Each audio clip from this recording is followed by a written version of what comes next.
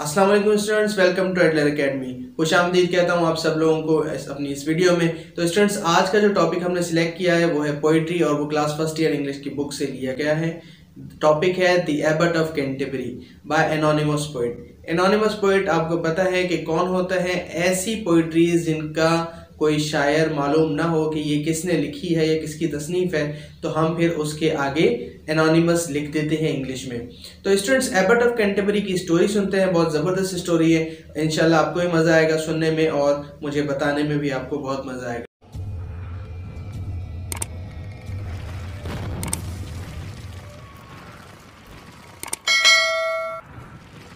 तो students story start होती है कुछ इस तरह कि एक बादशाहत होती है, एक सल्तनत होती है, जहाँ का बादशाह होता है किंग जॉन जो कि बहुत ही जालिम और एक बदबख्त जो है वो बादशाह होता है। तो उस की बादशाहत में अगर कोई भी शख्स अमीर हो या उससे आगे बढ़ जाए तो उसे ये बिल्कुल भी बर्दाश्त नहीं होता। वो गाहे बगाहे अपनी बादशाहत की खबर लेता रहता है। इसी तरह ही उसका वज़ीर एक दिन उसे बताता है कि, सर, एक बंदा है एबट, जो कि बहुत अमीर है। और वो इतना अमीर है कि उसके मुलाजिम या उसके नौकर जो हैं वो पचास हैं और हर मुलाजिम के गले में एक सोने की मोटी चेन है। जो वो हर वक्त पहनता है। और पचासों मुलाजिम जो हैं वो खाने की टेबल पे उसके इर्द गिर्द घूमते रहते हैं, जो कि उसकी खिदमत करते हैं। तो बादशाह ने जब ये कहानी सुनी अपने वज़ीर की ज़बानी तो उसने कहा कि ठीक है एबर्ट को मेरे सामने पेश किया जाए कि एबर्ट कौन है ऐसा इंसान जो मुझसे ज़्यादा अमीर है और उसके पचास नौकर हैं और इतने सब जो है वो जायदाद का मालिक है तो वो ऐसा क्यों है? तो एबर्ट ऑफ़ कैंटेबरी को इतला दी गई कि आपको बादशाह ने तलब किया है। तो बादशाह की अदालत लगी हुई थी एबर्ट वहाँ आया तो कहने लगा कि, ए माइली आपने मुझे क्यों बुलाया है यहाँ पर? ठीक है तो उसने कहा कि, तुम इतने अमीर हो, तुम्हारे पास इतना पैसा कहाँ से आया?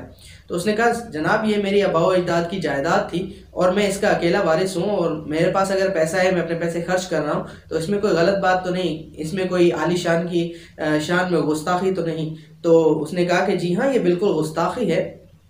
और बादशाह ने कहा कि, ठीक है अगर तुम मेरे तीन सवालों का जवाब दे दो तो मैं तुम्हें माफ़ कर दूँगा।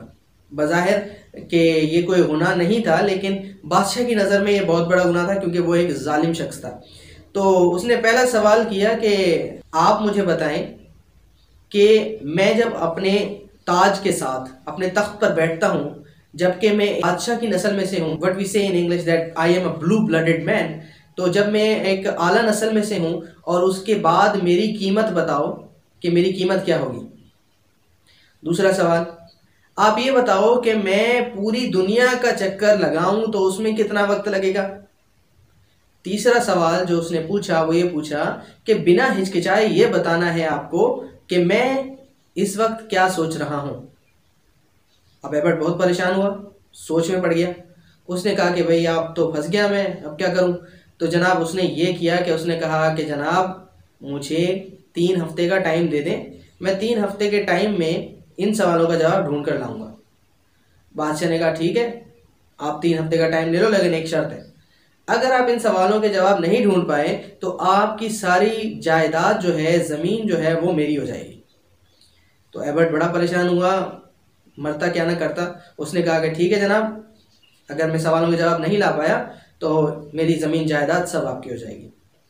इसी तरह ही हुआ यूँ कि वो बेचारा दर दर भटकने लगा, इस दर से उस दर पे आलिमों को ढूँढने लगा सवालों के जवाब के लिए। आखिर कैम्ब्रिज यूनिवर्सिटी गया ऑक्सफर्ड यूनिवर्सिटी गया। उस वक्त के बड़े बड़े तालीमी इदारों को ऑक्सफर्ड या कैम्ब्रिज के नाम से जाना जाता था।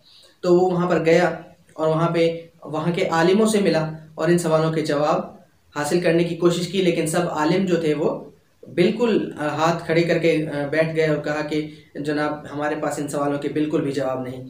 थक हार के, परेशान हो गए वापस अपनी ज़मीन की तरफ़, अपनी जायदाद की तरफ़, अपने घर की तरफ़ वापस आ रहा था। तो उसकी मुलाकात एक चरवाहे से हुई, एक शेफर्ड से हुई। तो शेफर्ड ने कहा कि ओ माय लॉर्ड, कि आप वापस आ गए। मुझे बहुत खुशी है कि आप किंग जॉन के तरफ़ से कोई खुशखबरी लाए होंगे हमारे लिए। कि आप बच गए या आप महफूज हैं तो उसने कहा कि नहीं, बुरी खबर है, alas there is a sad news कि मैं कुछ भी नहीं कर पाया और मैं सिर्फ़ तीन सवालों के जवाब नहीं दे पाया और इन तीन सवालों के जवाब ना देने की सज़ा मुझे ये मिलेगी कि मुझे बंदी बना लिया जाएगा, कैदी बना लिया जाएगा और मेरी सारी ज़मीन और जायदाद जो है वो अब कर ली जाएगी बादशाह के ज़रिए। अच्छा तो शेफर्ड ने कहा कि जनाब, अगर आप मुझे एक मौका दें, अगर आप मुझे एक मौका दें कि मैं इन सवालों के जवाब दे सकूँ उसने कहा, पहले सवालों के, सवाल तो सुन लो कि सवाल क्या है? उसने कहा, ठीक है। उसने सवाल तीन के तीन दोहराए शेफर्ड को। शेफर्ड ने कहा कि, जनाब, मैं आपके इन तीन सवालों का जवाब दूँगा। बज़ाहिर मैं बिल्कुल शिकलो शबी, में बिल्कुल आप जैसा हूँ। डील डॉल में भी आप जैसा हूँ। बस आप ऐसा करें कि अपना ये वी जो है, जो कोड जो है, वो बादशाही कोड मुझे दे दें। मैं अपना चेहरा ढक के चला जाऊँगा और आपके सवालों के जवाब दूँगा और आपको बचा के आ जाऊँगा। एबर्ट ने कहा कि जनाब देखते हैं, मरने से बेहतर है क्यों ना कोशिश की जाए। तो उसने शेफर्ड को अपना वी दे दिया। साथ में अपनी गोल्ड चेन, जो भी उसकी ज्वेलरी थी, वो सब दे दी। और देने के बाद उसको कहा कि, जी, अल्लाह हाफिज़ आप जाएँ और जाकर अपने मकसद में कामयाब हों। शेफर्ड जब बादशाह की अदालत में पहुँचा, तीन हफ़्ते का वक्त तो पूरा हो चुका था शेफर्ड ने अपना चेहरा ढक लिया। यानी कि पूरी तरह उसको अपने चेहरे पे ऐसे ओढ़ लिया जिस तरह के उसको ज़ाहिर ही ना हो कि ये कौन है, क्या है। बस थोड़ी सी परछाई है, थोड़ी झलक दिखे। इसी तरह ही जब वो बादशाह की अदालत में पहुँचा तो उसने कहा कि बादशाह, मैं हाजिर हूँ। आपके सवालों का जवाब देने के लिए आपका पहला सवाल ये था कि आप मुझे ये बताएँ कि मेरी पूरी संतलत में मैं अपने ताज के साथ, अपने बादशाही लिबास के साथ और आला खून के साथ, ब्लू ब्लड के साथ मेरी कीमत क्या होगी? तो उसने कहा, आपके पहले सवाल का जवाब यह है कि आपकी कीमत ट्वेंटी एट पेनीज है। यानी कि सिर्फ़ अट्ठाईस सिक्के। उसने कहा कि ये कैसी बात कर रहे हो कि अट्ठाईस सिक्के? उसने कहा, मैं आपको दलील देता हूँ।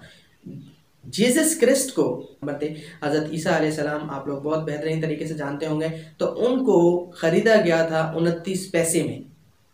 उनकी आज़ादी खरीदी गई थी उनतीस पैसे में। तो क्रिश्चियंस का ये मानना है कि उन्हें उनतीस पैनी, यानी ट्वेंटी नाइन पैनीज में सेल कर दिया गया था। तो अब वो ये कहते हैं कि अगर सबसे बड़ा बादशाह जो खुदा हम जिसे मानते हैं, अगर उसको उनतीस पैसों में बेचा जा सकता है तो आपकी कीमत उससे एक कदर नीचे होगी और आपकी कीमत अट्ठाईस पेनीज है, यानी कि सिर्फ़ अट्ठाईस सिक्के। बादशाह बड़ा खुश हुआ। बादशाह ने कहा, वाकई, ये बात और ये जो दलील इसने दी है, ये बहुत एग्जैक्ट बैठी है। इसलिए उसने पहले सवाल का जवाब तस्लीम कर लिया। दूसरे सवाल का जवाब, उसने कहा कि आप पूरी दुनिया का चक्कर सिर्फ़ 24 घंटों में लगा लेंगे। बादशाह ने कहा यह कैसे मुमकिन है? उसने कहा, मैं आपको दलील देता हूँ। आप ऐसा करें कि आप एक ऐसा घोड़ा लें जो रोशनी की रफ्तार से दौड़ता हो।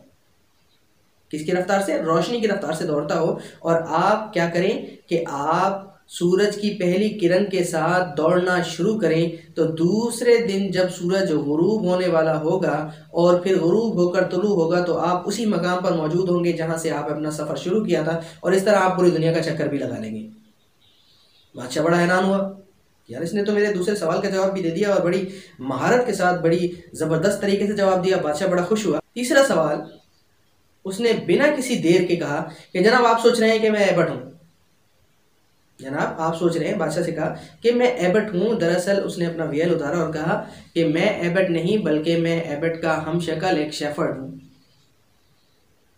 तो आप यही सोच रहे थे कि ये एबट किस तरह है? ये एबट है, जो मेरे सामने मौजूद है लाजमी बात है कि एक शख्स जब सामने होगा तो एक सामने जो आपका क्वेश्चन है क्वेश्चन करने वाला बंदा है फ़र्स्ट पर्सन वो यही कहेगा ना कि सेकेंड पर्सन वो है जिससे मैंने सवाल किए थे एबट है, लेकिन दरअसल उसने साबित कर दिया कि आप ये सोच रहे हैं कि मैं एबर्ट हूँ दरअसल मैं एबर्ट नहीं हूँ।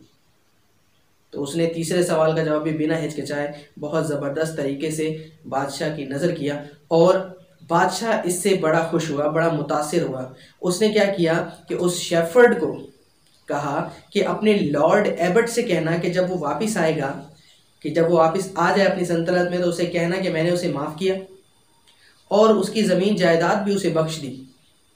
और ये भी बताना कि मैंने तुम्हें तोहफे के तौर पे इनामात से नवाजा है। तो इस तरह वो शेफर्ड बड़ा खुश हुआ। एबर्ट की जान भी बच गई और ये स्टोरी अपने अख्ताम को पहुँची। अब इस पोइट्री में जो हमने आज सुनी और समझी, इसमें आपके लिए जो लेसन है वो ये है कि हमें किसी भी सूरत हाल में घबराना नहीं चाहिए। दूसरा लेसन ये कि कभी कभी हमारे ऐसे सवालात के जवाब जो है, वो कुछ ऐसी छोटी छोटी चीज़ों में छुपे होते हैं, जिनको हम अक्सर नज़रअंदाज कर देते हैं या जिनको हम हकीर जानते हैं। दरअसल उन हकीर चीज़ों के पास, उन हकीर लोगों के पास हमारे उन सवाल के जवाब होते हैं, जो कि बड़े बड़े आलिमों के पास भी नहीं होते। तो चलते इस पोइट्री की जाने, थोड़ा सा देखते हैं कि ये पोइट्री किस तर्ज में लिखी गई है, इसका स्टाइल क्या है, ठीक है? तो सबसे पहले मैं आपको बताता हूँ कि ये पोइट्री जो है, वो बैलेड फॉर्म में है। बैलेड हम कहते हैं उर्दू में गज़ल को, इंग्लिश में बैलेड कहते हैं। Poetry which tells a short story और अ स्टोरी और मोर देन सिक्सटीन लाइन्स ठीक है? एक ऐसी पोइट्री जो सोलह लाइन से ज़्यादा हो और एक स्टोरी बताती हो, छोटी या बड़ी, एक स्टोरी सुनाती हो आपको तो वो कहलाती है बैलेड अब फ़ेमस बैलेड्स कौन सी हैं जी? स्कॉटिश की स्कॉटलैंड की और इंग्लैंड के दरमियान जो बॉर्डर एरिया है जो वहाँ के लोग आ, अपनी गज़लें गाते हैं वो बहुत फ़ेमस हैं। लेकिन उनका डायलेक्ट समझना उनकी लैंग्वेज समझना इंग्लिश लिटरेचर में थोड़ी सी मुश्किल है। इसलिए वो कहते हैं रीडर्स ये कहते हैं डेसिफर्स ये कहते हैं कि वो उस लैंग्वेज को समझना बहुत मुश्किल है। अदरवाइज़ अगर हम समझ जाएँ तो उनकी टोन उनकी रिदम बहुत ज़बरदस्त है और वो मे भी सबसे बेहतरीन बैलेट्स कहलाएँ। ठीक है? क्योंकि बैलेट को सिंग भी किया जाता है तो इसलिए उनकी टोन जो है वो बड़ी बेहतरीन है। उसके बाद अगर हम देखें कि बैलेट की जो एग्जाम्पल्स हैं, उसमें मोस्टली फ़ेमस है rime of ancient mariner by S T Coleridge Samuel Taylor Coleridge उसके बाद हम आते हैं जॉन कीट्स ने भी लिखे la belle dame sans merci इसी तरह ही अगर हम आगे जाते हैं जो हम ये पढ़ रहे हैं एबर्ट ऑफ़ कैंटीबरी इसके साथ ही हमारी कुछ ऐसी भी हैं जो स्टार्टिंग में फोर्टीन सेंचुरी में भी लिखी गई हैं बाय जेफरी चौसर जिनको हम फादर ऑफ़ इंग्लिश भी कहते हैं। उन्होंने भी कुछ ऐसी बैलेंस लिखी हैं जो कि हम गा सकते हैं सुन सकते हैं समझ सकते हैं। ठीक है स्टूडेंट्स तो आ, आपको पता चल गया कि ये किस फॉर्म में लिखी हुई है। और इसकी पोइट्री की स्टोरी क्या है? अब आप बहुत आसानी से इसको अपने वर्ड्स में एक्सप्लेन कर सकते हैं और आप इसका जो है वो सेंट्रल आइडिया साथ में समरी और साथ में ही आप इसकी फॉर्म को भी डिस्क्राइब कर सकते हैं। ठीक है स्टूडेंट्स तो ये, यहाँ लेक्चर हम एंड करते हैं। अगर आपको कोई भी चीज़ समझ नहीं आई तो आप डायरेक्टली मुझे कमेंट सेक्शन में पूछ सकते हैं। और अगर आप नए हैं मेरी वीडियो पे और फ़र्स्ट टाइम मेरी वीडियो को देख रहे हैं तो प्लीज़ मैं आपसे ये कहूँगा कि आप मेरे चैनल को सब्सक्राइब कर दें और घंटी वाले बटन को दबा दें ताकि मेरी नेक्स्ट आने वाली वीडियोस आपको जल्द अज जल्द मिल सकें और आप मेरी वीडियो से फ़ायदा उठा सकें। Okay students have a good day have a nice day खुदा हाफिज़।